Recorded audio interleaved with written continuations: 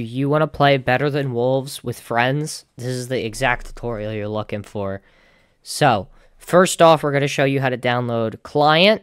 And then afterwards, I'm going to show you how to download a server and set the server up and port forward, but without sharing your IP so you can be good to play with your friends.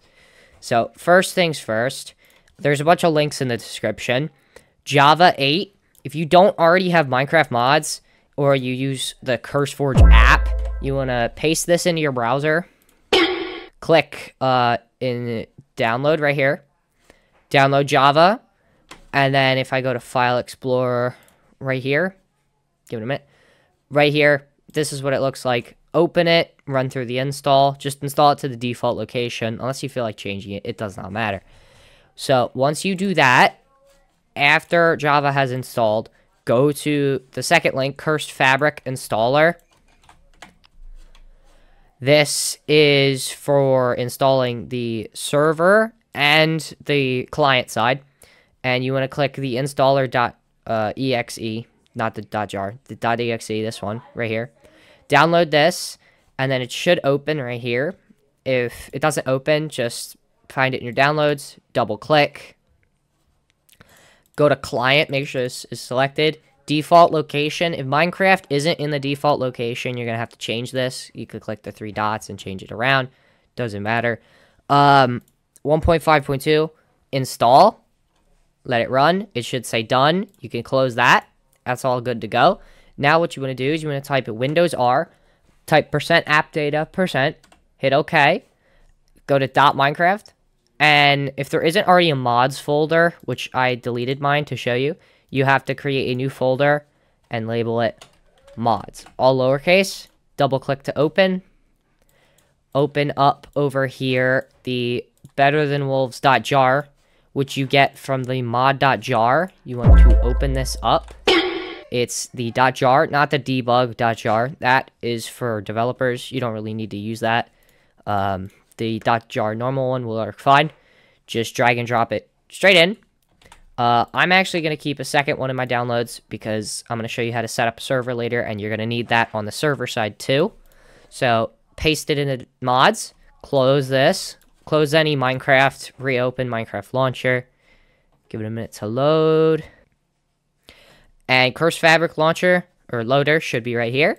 You just want to double check, click play, give it a minute to set everything up, and Minecraft should open 1.5.2 with the mod installed if you did everything correctly.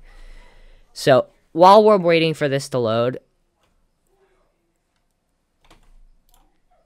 so Minecraft opened. It should look a little different because it's got better than Wolves installed. You could see right here, it basically changed everything. And this is a new thing. You can also tell if the mod's installed either here or here. And you could go to single player and play your better than Wolves. Multiplayer, you could do multiplayer servers so I'm going to leave Minecraft open on the side. And now it's time to show you how to download a server and set that up. So in my desktop, I have a file labeled server, or a folder. You can open this up. There's nothing in it. So first things first, you want to go back to your downloads. And you're going to want to download, or sorry, go back to the description. Download playit.gg slash downloads. Open this up uh, download your version, not plugins, but Mac OS, Linux, or Windows. Windows installer, just click through, and then I'm going to open the Play It program in a minute. It should, if you search up Play It, it should come up. So now what you want to do is after installing playit.gg um, and you have everything installed, you want to install Cursed Fabric. Double click this, click Server, click this little gear icon and you want to change this. So wherever, this is on my desktop, so I'm going to right click. If you find the file or the folder, you can right click and click copy path because this makes it so much easier. Just control A, control V, hit enter, or you want to delete the quotes. So delete that quote, delete that quote, and it should just automatically know where to put it. Um, now, what you want to do after pasting this in, you could close this hit install and it'll do everything for you. Just wait after that is done installing because this is installing all the stuff. So now it has fabric server launch.jar and it says no valid 1.5.2 server jar found. Just click download server jar. should install. Yep, it popped up. And then use this command to start the server. If you know what you're doing, you can use that or just click generate launch scripts because that'll automatically do it for you. Um, and now you got your start.bat and start.sh.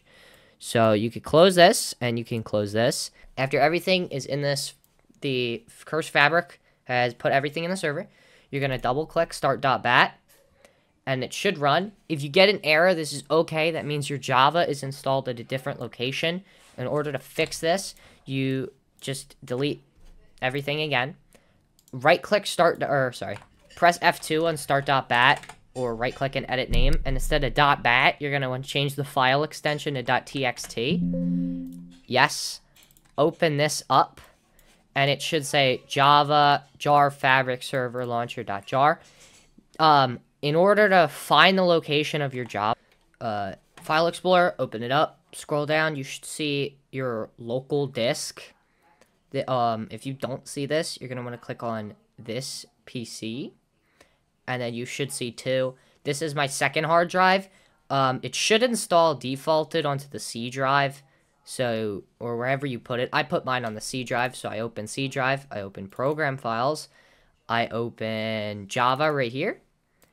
This bin folder, scroll down, you can find the java.exe, right click, or click on it, right click, uh, copy path, you can close that, and then replace the Java right here with this, leave it exactly how it is, the quotes are good, and then you just want to click File, Save, you can close that, and then you want to edit this again, change the file extension dot back to dot bat.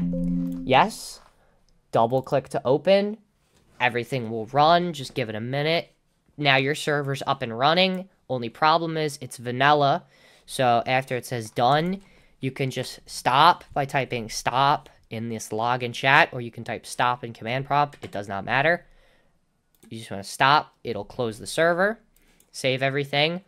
Boom, closed. Now all your files are here. You want to open the mods folder, drag and drop better than wolves.jar into here. Go back, delete the world folder because it'll uninstall the world. And you now want to open start.bat again. And it'll create a brand new world for your server. Um, and give it a minute. Boom, your server's up. Done. So now if you go to multiplayer and you type 0 in the server address, you can just join server. It'll let you in the server. You can play better than Wolves. But you can only play single uh, single player because it's a local host. You haven't port forwarded yet. Okay, so now what we need to do is port forward. So if you remember from earlier, you downloaded playit.gg. You just want to open this up.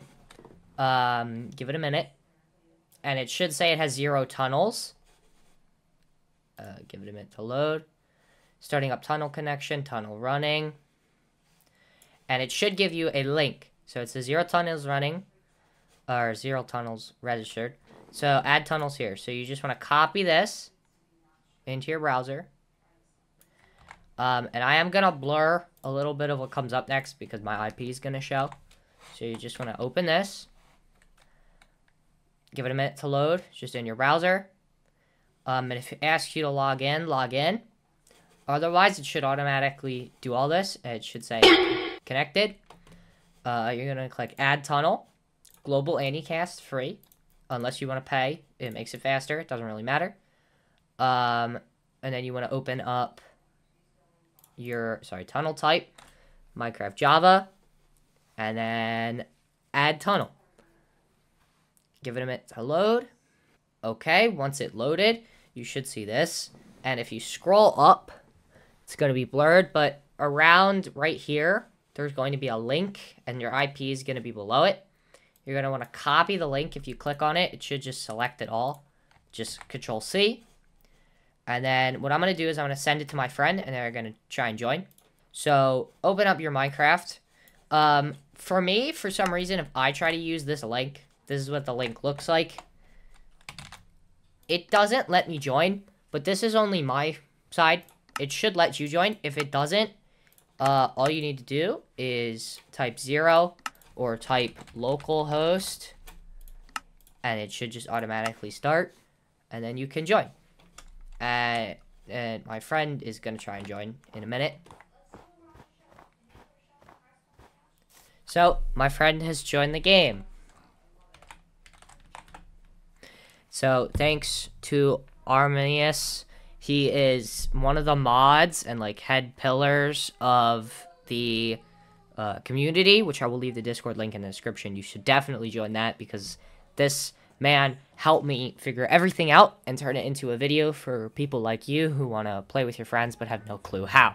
So, as you can see, it works. He can join, and I can join as well, and we can play the game together, but, uh, yeah. So, thank you guys so much for watching. Um, I, I mean...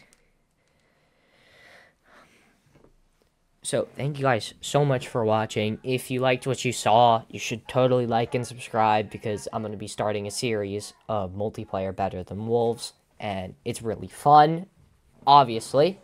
So, uh, thank you guys so much for watching, and uh, peace out. Bye.